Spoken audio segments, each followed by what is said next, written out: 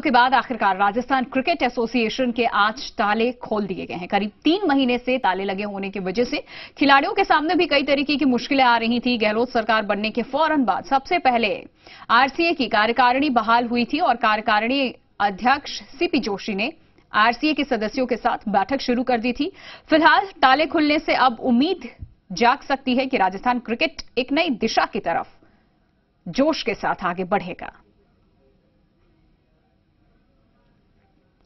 तो काफ़ी विवादों में रहा था आरसीए, और आज जब ताले खोले गए यहाँ पे तो एक नई ऊर्जा यहाँ पर महसूस की जा सकती है खास करके उन खिलाड़ियों को जिन्हें बहुत उम्मीदें हैं, जिनका रास्ता यहाँ से होकर के गुजरता है, लक्ष्य है उनका जीवन में।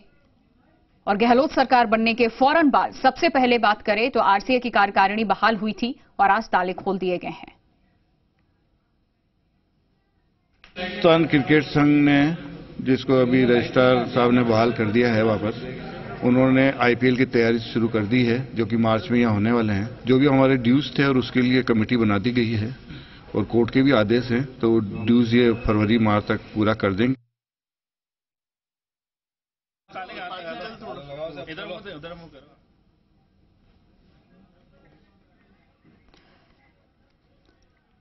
तो कई महीनों से विवाद चल रहा था यहाँ। और कई तरीके की तस्वीरें भी निकल करके सामने आई थी।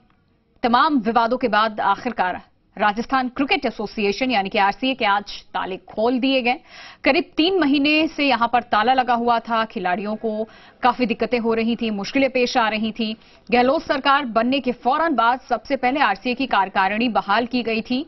क्योंकि युवा ऐसे जो खेल अपना लक्ष्य बना चुके हैं करियर है उनका और इसमें आगे बढ़ना चाहते हैं, रोशन करना चाहते हैं नाम। उनके लिए निराशा हाथ लगी थी इस तरीके से जब राजनीतिकरण होने लगा था यहाँ भी। लेकिन कार्यकारिणी के अध्यक्ष सीपी जोशी ने आरसीए के सदस्यों के साथ बैठक भी शुरू की और अब ताले खोल दिए गए हैं, जिससे क्रिकेट में बात की जाए राजस्थान की तो एक नई दिशा की तरफ़ आगे बढ़ेगा।